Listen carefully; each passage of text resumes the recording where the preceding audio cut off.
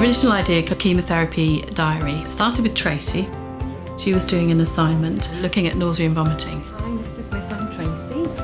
And then we got together to kind of have a look at how we could take the ideas that she'd found out further on. Talk you through your chemotherapy diary. Whilst I was doing my research, we found that unless you recorded your symptoms at the time that they were happening, it was less easier to recall when you came back to see the doctor how severe those symptoms were.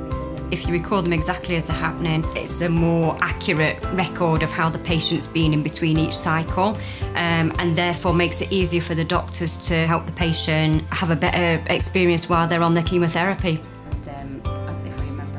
I think it's made a difference for the patient and also all the, the nurses, pharmacists, doctors who look after the patients as well because they've got a really good record of how the patient's been between their treatments. And for the patients, it's really good because they've got one place that they can look at for all of their information and also take some control over their treatment and what's happening for them.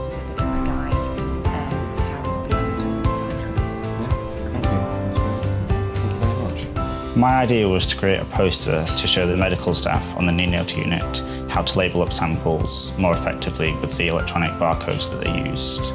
The problem was that when they were labelling up the tubes, they were wrapping the barcodes around the tubes. In the labs, what we actually needed is we actually use that barcode. So to make sure they were all doing it the right way so we could use them in the labs, we made a poster to show them to actually strip the barcode down the sample instead of around the sample so that we could take them off and reuse them. Almost instantly what we found was all of the samples were labelled correctly so we could use all the barcodes on the first time. For staff it speeds up the process for them because they only have to label one sample and they can send it to the lab straight away. It speeds up us being able to analyse the sample in the lab so it means the babies can be treated sooner and faster instead of them having to wait for the results to come back.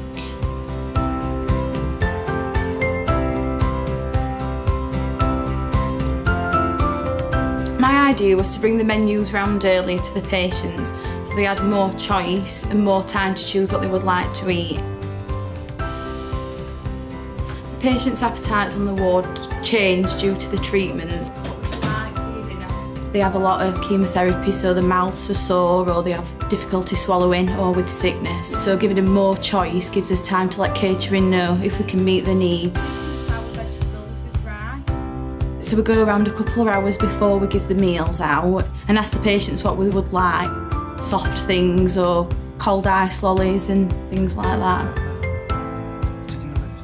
Before we had the idea, we just used to go around when the trolley was here with limited options. If they were feeling sick or they were in a bit of pain, they didn't want to eat, so then all we could offer them after that was like toast or soup. But now, obviously, we can offer them a variety of things that they could eat, and we can change the eating times as well. So if they didn't want it at half past 12, it was too early. If they wanted it at three, they could have a bigger lunch at three o'clock as well.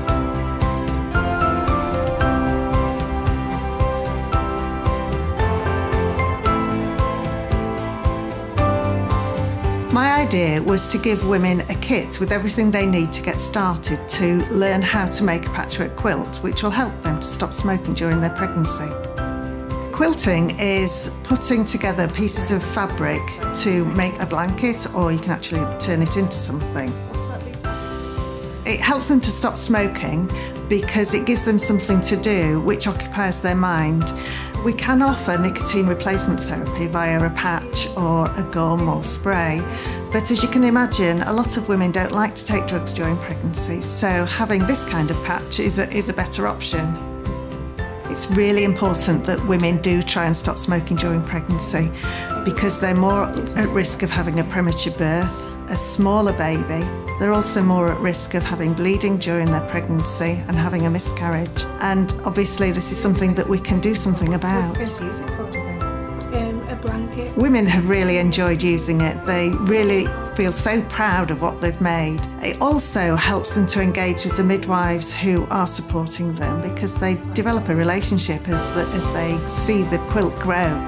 It really has been uh, great fun.